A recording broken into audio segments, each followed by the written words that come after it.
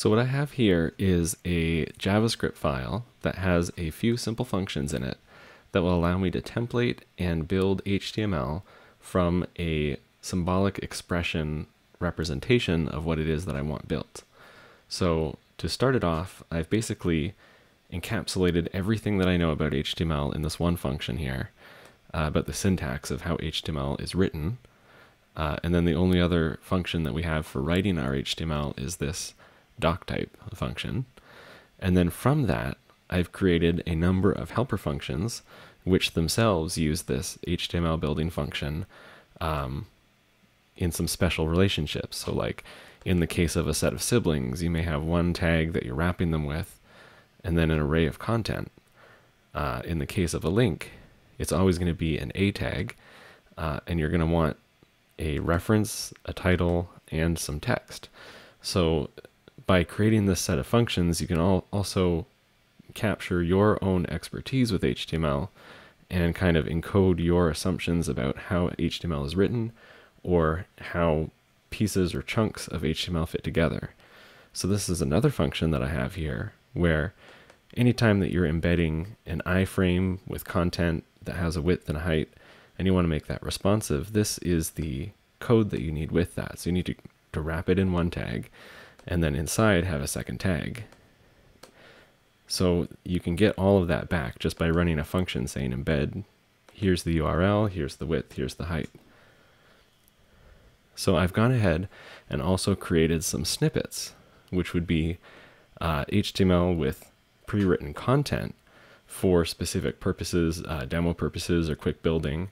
So this is where it starts to shine. So here, um, the default head includes the doc type, one meta tag, a second meta tag, and a title. And the only thing that we pass into it here optionally is a title.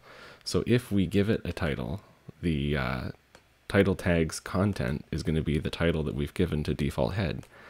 Uh, this is a snippet that I use in its HTML form quite a bit, and then I always have to go back and add the title in myself. So being able to template this way will allow me to be smarter in how I use my snippets as well. So here's another one where I have just a basic function, just a JavaScript function uh, for a generic mixin for JS and CSS. And every time I start out with this and create something based on this template, I always have to pick a new name, which becomes the function name as well as an attribute name, both for setting it and for selecting it. And so by returning this, a script tag with this content, uh, when I give uh, a name to this, I get the snippet back with my name already populated into it. For a more advanced example here, um, this is a JS and CSS demo, and I'm going to supply optionally as many different plugins as I want. I'll give them a name and the part of the URL that would allow you to load it from uh, npm, and then we'll see. Uh, and then the last thing that makes this interactive as a command line tool is if there is an argument supplied to the script when it's run, it will evaluate that and return it. So, for example, if we do node uh, HTML forever, which is the file name, and then give it this string tag p with a class of demo and content demo, we should get back a p tag with a class of demo uh, and the content demo as well. So let's hop over and see if that's true. It is.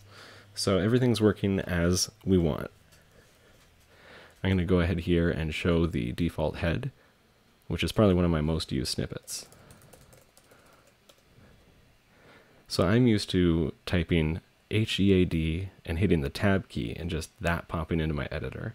But now I can actually build templates, including this, including with a uh, title as well. Uh, custom title, we'll see that be output. So that brings me to now the ability to template custom HTML very simply. So if we have um, a file here, cat. So here I've got uh, the default head with a title.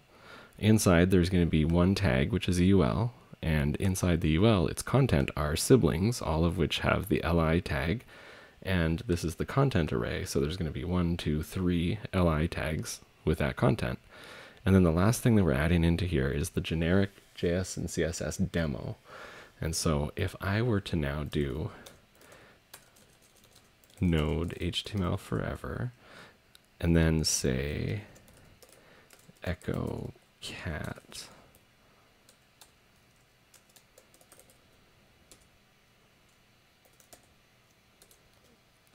we'll get back the rendered HTML here. So you can see there's the default head with our uh, title, which was right here. Uh, you'll see the UL, and it has three siblings inside of it with the content 1, 2, and 3, and they are the li tag. And then at the end, there's the entire JS and CSS demo, but the default demo. So we've actually got another um, file here that we can test. This one's a little bit more advanced. So this is our default head with a title.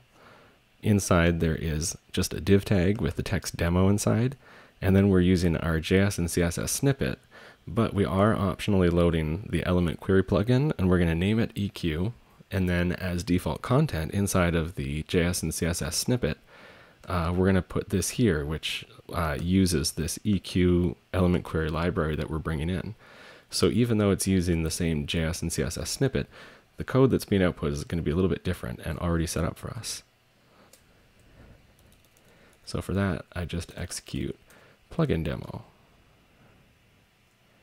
And here we have the same, the default head with the title, we have our demo div, and then we have our JS and CSS snippet. However, it's already populated with a library where we've given it the custom name over here, um, the library name over here, and our default content is being populated into the right spot in our thing. So we can uh, save or run these different demos. We can build them very quickly, um, customize quite a bit about them, or even uh, compose this kind of code with other functions. So as you've seen here, uh, a lot of these snippets just translate directly to um, all we're doing is adding this right hand side argument to pass through uh, on the right hand side and then this becomes a modular reusable piece of code that we can work with and even give custom arguments to. So I'm going to use this quite a bit for templating HTML, generating the things that I need. Um, who knows, maybe I'll be able to scale this up even to building an entire website. I'm going to play around with it.